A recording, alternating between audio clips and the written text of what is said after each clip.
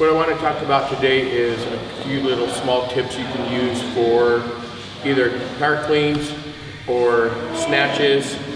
Um, and, really what it, what, what it resembles is just utilizing the zipper. So when we're pulling the bell up, we're zipping up and transitioning right over. Then we come back down, we unzip. We want to go high between the legs and then back up into the clean.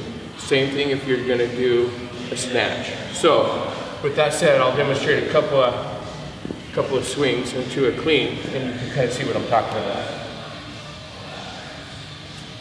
The bell should transition right over instead of not flopping over and we don't want to cast the bell up or down, just we want to zip up and down.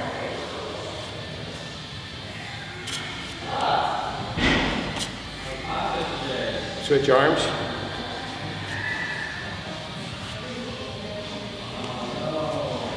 Up and down.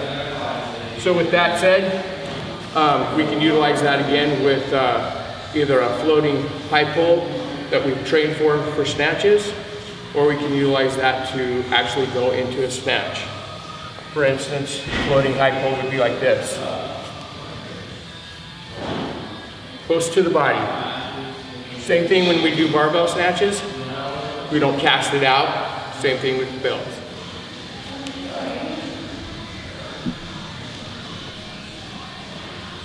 And that's a quick tip on uh, zipping up and down, keeping the bell close to the body for cleans and snatches.